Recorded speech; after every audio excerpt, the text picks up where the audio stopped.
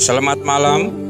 Saya ingin bertanyakan beberapa soalan berkenaan dengan Karnival Sukan yang dianjurkan pada tahun ini. Pertama sekali, bolehkah Tuan memberi sedikit uraian untuk pembukaan temu bual kita? Oke, terima kasih kepada Pak Gun.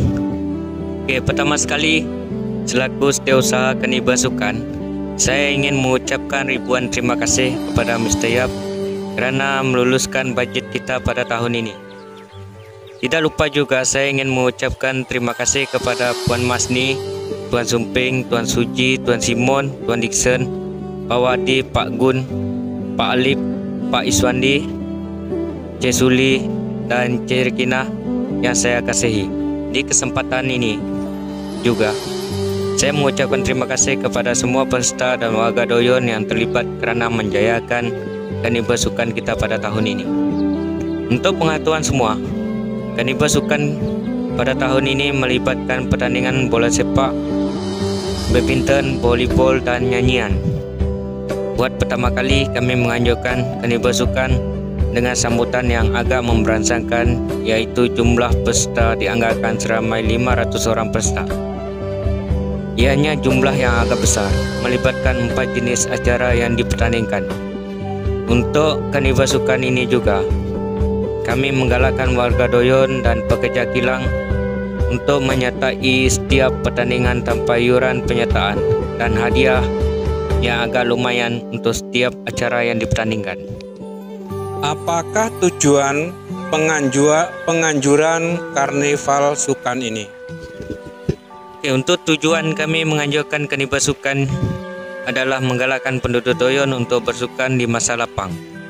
Di samping itu juga dapat mengeratkan silaturahim sesama mereka. Justru itu, kami sebagai penganjur tidak membenarkan sebarang pergaduhan sepanjang karnival sukan ini diadakan. Tidak dinafikan Sesetengah perkara ada kalanya berlaku salah faham dan kita cuba menyelesaikan secara adil. Apakah cabaran bagi pihak penganjur sepanjang karnival sukan ini diadakan? Cabaran kami selama karnival sukan ini diadakan adalah berkomunikasi dengan para peserta. Seperti yang anda maklum, penduduk Doyon terdiri daripada berbagai kaum dan bahasa.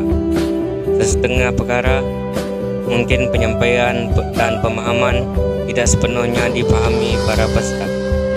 Selain itu, cabaran kami juga melibatkan penyediaan peralatan setiap minggu seperti mengangkat meja, kursi, kemah, peralatan sukan dan banyak lagi perkara serta tugas.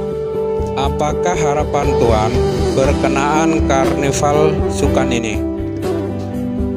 Harapan saya adalah mengharapkan semua sukan yang dipertandingkan dapat dijayakan dan dapat dianjurkan pada tahun-tahun mendatang. Di kesempatan ini juga, harapan saya menambah baik kemudahan yang sedia ada seperti membuat pentas di padang bola sepak dan menyediakan lampu malam di padang supaya penduduk doyong dapat melakukan aktiviti sukan pada waktu malam. Perkara sebegini sekiranya dapat persetujuan semua pihak ianya akan memberi manfaat kepada penduduk Doyon. Soalan yang terakhir, berikan kesimpulan berkenaan karnival sukan pada tahun ini. Secara kesimpulannya, pada tahun ini sambutan karnival sukan amatlah memberansangkan dengan penyertaan yang agak ramai. Selain itu, saya memberi penghargaan kepada ahli jawatan kuasa kerana mereka aman memberi kerjasama sekaligus mampu menjayakan sukan kita pada tahun ini. Percayalah, sekiranya ahli jawatan kuasa yang rapuh pasti menyukakan setiap rancangan. Akhir sekali, terima kasih kepada semua yang terlibat. Andalah yang menjayakan sukan pada tahun ini. Penglibatan Anda amanlah kami hargai. Terima kasih kepada Mr. Joni selaku usaha Karnival Sukan dan Malam Idol tahun 2000. Terima kasih.